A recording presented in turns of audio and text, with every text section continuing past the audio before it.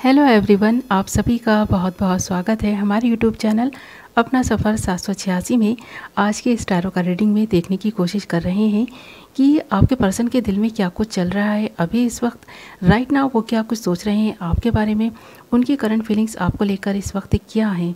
Okay viewers तो ये reading general है कलेक्टिव लेवल पर है टाइमलेस रीडिंग है और सभी जोडियक साइंस के लिए रहने वाली है और जेंडर स्पेसिफिक नहीं है।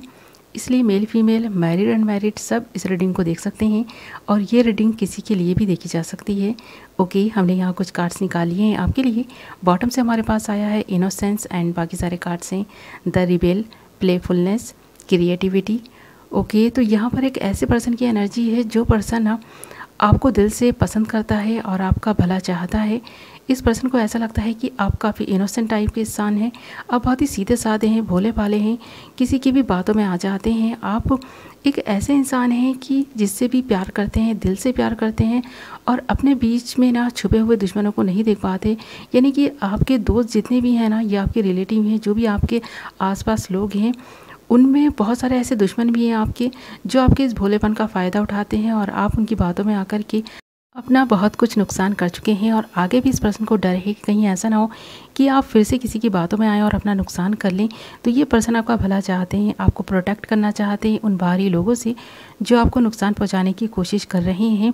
तो यहाँ पर हमारे पास द रिबेल का कार्ड इंडिकेट भी कर रहा है कि कोई तो है आपका रिबेल का काम कर रहा है आपके जीवन में, जिसे ये पर्सन बेनकाब करना चाहता है। तो यहाँ पर ना ऐसा लगता है मुझे कि इस पर्सन के साथ आप काफ़ी हैप्पी रहते हैं, खुश रहते हैं और अपनी हर बात इस पर्सन से शेयर भी करते हैं। तो ये पर्सन चाहता है कि अब आपको प्रोटेक्ट करे और अपने दिल में जो भी छुपी इसकी इच्छाएँ हैं, जो भी फीलिंग्स हैं, वो आपको बताए।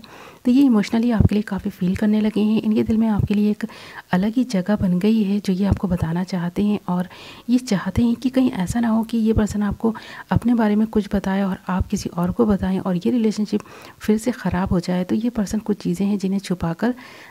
रखना चाहते हैं। अभी इस पर्सन की फीलिंग्स जो भी है, इस पर्सन के दिल में ही छुपी हुई है। इसने आपको नहीं बताई होगी, ऐसा लगता है यहाँ, क्योंकि क्रिएटिविटी है और इनोसेंस भी है।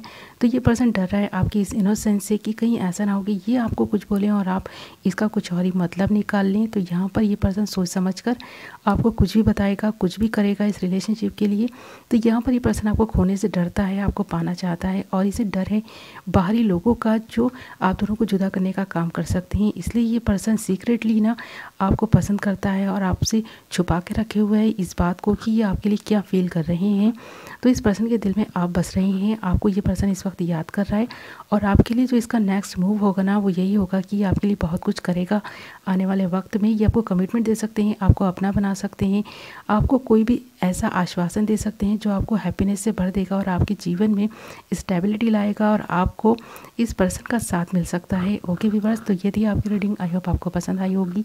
कुछ तो क्लैरिटी मिली होगी, कुछ तो रेजोनेट की होगी और अगर थोड़ा भी रेजोनेट की है ना तो वीडियो को लाइक ज़रूर करें चैनल को सब्सक्राइब कर लें और बेल नोटिफिकेशन को ऑल पर सेलेक्ट कर लें। तो मैं मिलूँगी एक नई वीडियो के साथ। तब तक अपना ख्याल रखें, अपनों का ख्याल रखें।